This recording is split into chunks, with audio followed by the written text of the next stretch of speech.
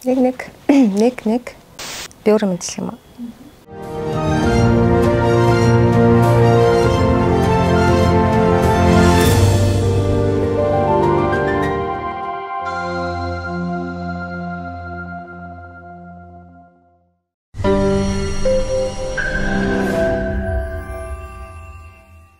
Сайн байцгаана уу? Намайг цэцэн бэлэг гэдэг амьдрах стратеги хөтөлбөрийн санаачлаг, стратеги судлаач, сэтгэл судлаач.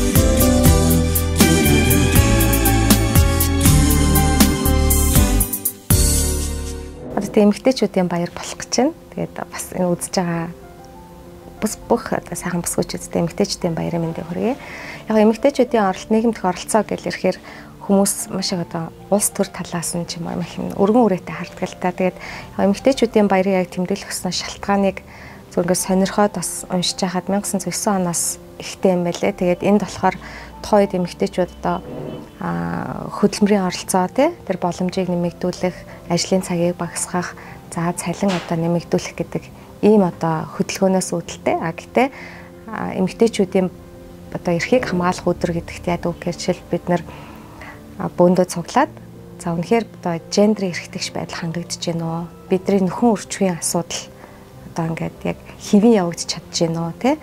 За дээрэс нь эмэгтэйчүүдийн эсрэг ямар нэгэн хүчирхийлэл, доромжлол одоо байсаар байна уу нийгэмд маань гэдэг энэ зүйлийн талаар ярилцаж хэрвээ үнэхээр байсаар л байгаа бол юунаас болж байгаа бид нар энд хэрхэн яаж оролцох вэ гэдэг энэ чиг рүүгээ илүүтэй явдаг юм билэ. Бид нар карьер гэхээр зөвхөн ажил дээр ч юм албан тушаал дээр яригддаг асуудал гэж ойлгооддаг. Карьер бол амьдралын туршид таны одоо хөгжиж байгаа, буурж байгаа тэр бүх замлыг багтаасаа ойлголт шүү дээ.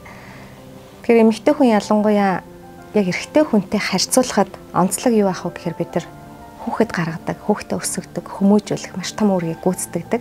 А энэ хугацаанд нөгөө цаг хугацаагаас өссөн өсөөгөө бид нар тэр нэг байгалийнхаа жамыг дагаад алдчихдаг шүү дээ. Тэгэхээр энэ дээр би нэг хүүхэд гаргуул тэнд одоо хэдийн хугацаагаар ажилласаа магадгүй төлөвлөж исэн зүйлээсээ хөндөрөх вэ гэдгээ бид нар л мэдж байгаа шүү дээ. За хамгийн багадаа 2 жил, за зарим эмэгтэйчүүд бол бүр 5 жил хүртэл хугацаагаар ингээд нийгмээс ажил албанаасаа одоо хөгжих төр зүйлээс ингээ хөндөрж идэг.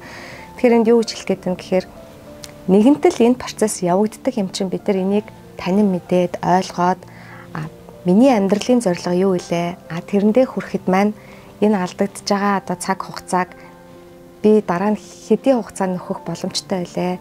А эсвэл нөхөх боломжгүй байвал магадгүй би 3 хүүхэдтэй байвал дөрөвдгөө гаргахад зүг билүүч гэдэг юм ингээд энэ тал дээр хүртэл бид маш их бодож төлөвлөж амьдралаа одоо бид чи стратеги ярьж байгаа шүү дээ ингээд тэр стратегиас бид нар харах нь хэцүү юм шиг санагддаг. Хүн ямар үед ингээд юм сэтгэл зүйн тулгамдсан асуудал ч юм уу эсвэл сэтгцэн эрүүл мэнд асуудал үүсээд байна гэнэ танин мэдхээс бол ямар тохиолдолд би хэрхэн яаж хариу үйлдэл үзүүлэх вэ? Өөрийнхөө сэтгэл зүйн эрүүл мэндийг хэрхэн яаж хамгаалах вэ гэдэг тал дээр ойлголцол байгаа учраас тэрэнд аюу хурдан өртөөд автаад идэг. Тэгэхээр ганц нөгөө эмэгтэйчүүд сэтгэл готролд илүү өртөөдэн гэж ярих нь ч гэсэн өөрөө бас учир дутагдaltaй яад бол эрэгтэй хүмүүс ч маш их хүртэж байгаа. Эмэгтэйчүүдэд эрчүүд хүчирхийлүүлдэг гэдэг бол эсэргээр эмэгтэйчүүд ч эрчүүдгээ хүчирхийлж л байгаа. Тэгэхээр аль аль нь одоо хөөсөөс үл хамааран хүн гэдэг утгаараа нэг нэгэндээ хүндэтгэлтэй байх.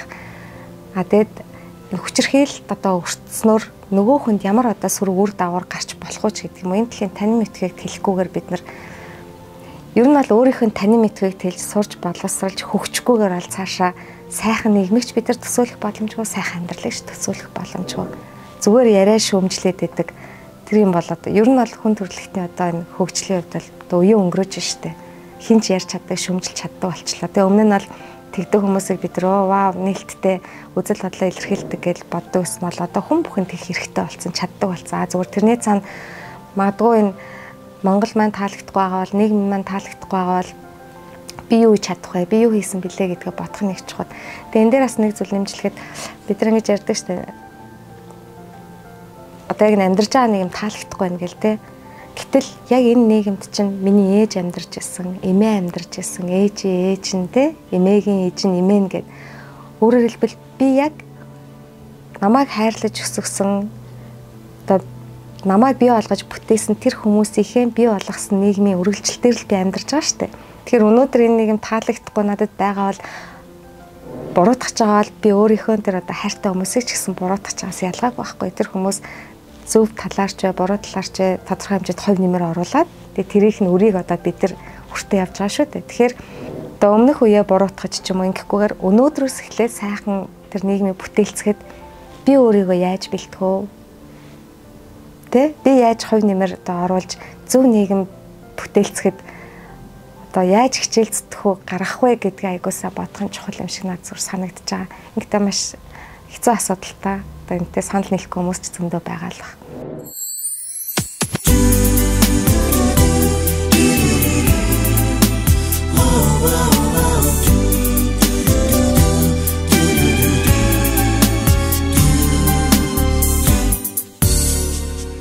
өөрийгөө хайрлах гэдэг чинь бас маш өргөн ойлголт юм байлээ.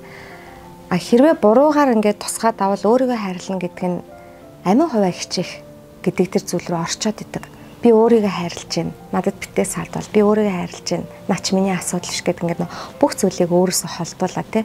Гэтэл өөрийгөө хайрлана гэдэг чинь зөв эрүүл хүнс хэрэглэх, хөдөлгөөнөө хийх, сэтгэл зүйн эрүүл мэндэ хамгаалах, нийгэмдээ одоо тийм зөв оролцоотой байх гэдэг маш олон зүйлээс бүрдэж байгаа шүү дээ. Тэгэхээр өөрийгөө хайрлах гэдэг нь зөвхөн би болж байвал болно гэдэг тэр аминч үзлээс ялгаатай шүү гэдгийг л айгуусаа хүмүүс ойлгосоо гэж хүсдэг. Яг охирчин сэтгэл зүй үүсгэлтэй ингээл магадгүй ямар нэгэн траумагаас болдог ч юм уу эсвэл санаатаагаар би хохирчийн дүрд тоглох юм бол хүмүүст илүү өрөвдмөр харагдаад тэрнээс болоод өрөвдүүлээд би хүссэн зүйлээ авч болох юм байна гэж нас насны хүмүүст тэр үүсчлээдэг. А тэгээд яг нь эмэгтэйчүүдтэй холбоотой ярьж байгаа болохоор эмэгтэйчүүд гэдээ илүү ярьж байгаа шүү. Өөрөө хохирогчийн дүрд ороод тэрэндээ итгээд бүр яг энэ үний юм байна гэж итгээд хохирогчийн дүрээр маш олон жил амьдарсан эмэгтэйчүүд харагдчихэдэг. Өөрөөр хэлбэл одоо би олон хүүхэдтэй болохоор намайг өрөвдөхгүй байна те би амьдралын төлөө яваад ядарч байхад намайг ойлгохгүй байна. Тэсгэл би өөрийгөө одоо энэ хүний төлөө залж байхад намайг ойлгохгүй байна гэл те. Эсвэл бүр ингээд юм өрөвдүүлсэн арчаагүй дороо тийм байдлыг бий болгож одоо хүний нэг сэтгэл зүй нэг шинж байгаа штэ ингээд нэг хүнийг өрөвддөг бид нар чинь дандаа юм дорой хүмүүсийг өргөж тэтгэж хайрладаг те жижигхэн сул дорой байх тусмаа бид нар туслая гэж боддог ч юм уу. Тэгэхээр тэр дүрд хувирах замаар а заримдаа муухагаар хэлвэл бүр тэрийг амьдрах аргаа болгоцсон хүмүүс ч байдаг. А тийм хүмүүс хэрвээ яг тэрийгээ ингээд олж хараад тэндээсээ гарахгүй бол өөрөө ч хохирно нөгөө хамт байгаа хүмүүсээ ч хохироо. Тэгээ тэндээс магад жаргалтаа сайхан амьдралч хийзэж гарахгүй шүү дээ. Эмэгтэйчүүд эрхээ хамгаалахаас өмнө би яг ямар эрхтэй юм бэ? хүн талаасаа аа тэгээд яг эмгтэй талаасаа их хүн талаасаа ч гэдэм үү эхлээд эрхээ аягүй сайн мэдэж ухамсарлах нь хэцүү. Өнөөдөр Монгол улсад хүний эрхийн түгээмэл тунхаглал за одоо хүний эрхийг хамгаалахтай холбоотой тэр мэдлэг мэдээллийг авсан хүмүүс хэр их байдаг бол эргэлзээтэй санагддаг. Яг ингээ ярилцаад ингээд явж хахад хүмүүс нэрээ би юм эрхтэй юм биш гэж бас ойлгож авах жишээнэ зөндөө байдаг учраас эхний ээлжинд эрхээ хамгаалахын тулд ямар эрхтэй гэдгээ маш сайн ойлгож судлах хэрэгтэй. А тэгээ тэр эрх нь ямар хэм хэмжээгээр бас хамгаалагдж байгаа юм. Эрхээ хамгаална гэдэг чинь 100% хурж ирэл намайг бүрэн хамгаалаад би юу ч хийхгүй байсан ч аюулгүй те миний хүснээр амьдруулна гэсэн үг биш шүү дээ. Тэгэхээр эрхээ хамгаалуулахын тулд би бас өөрөө ямар үүрэг хариуцлагыг хүлээх ёстой юм гэдэг энэ юмнуудаа их олон талаас нь хоорондын учир холбоо гэсэн маш сайн ойлгож ижил тэрийг ухамсарлаж ойлгох та. Тийм хураагаад байна шээ. За баярлалаа. Яасан гоё юм. За тэмэгтэйч үстэй баярын мэнд хүргэе. Тэг төгсгөлийн үдэ хэлчихэ те. За тэг нэвтрүүлгийн төгсгөлд нэг зүйлийг хэлмээр байна. Эмэгтэй хүн эмэгтэй хүн болж төрсөн учраас хамгаалагдах, хайрлагдах, эрхээ хамгаалагдах ёстой гэсэн биш харин эмэгтэй хүн хүн учраас хайрлагдаж хамгаалагдах ёстой. Эмэгтэй хүн хүн учраас өөрийн гэсэн хүсэл зорилготой, мөрөөдөлтэй нийгэмд ямар хувь нэмэр оруулж, юу ямар үнцийг бүтээж, юуны төлөө амьдрах уу гэдэг тэр зүйлээ өөрөө тодорхойлох эрхтэй. Хэн нэгнээс хамааралтай бус өөрөө бие даа амьдрах тэм чадвартай, өөрийн гэсэн хүсэл мөрөөдөлтэй нийгэмдээ ямар хувь нэмэр оруулж, ямар үнцийг бүтээх үү, би ямар чухал зүйлийн нэг хэсэг болох вэ гэдгээ өөрөө маш сайн тодорхой болгоод тэрнийхээ төлөө тэмүүлдэг тийм хүчтэй хүн байгаарэ гэж хүсье. Та нартай хазж байгаа л гэсэн.